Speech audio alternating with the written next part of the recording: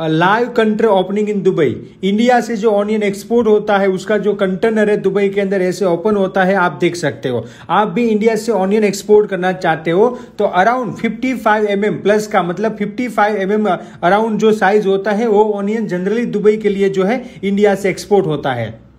तो आप यहाँ पे देख सकते हो कंटेनर ओपन हो रहा है।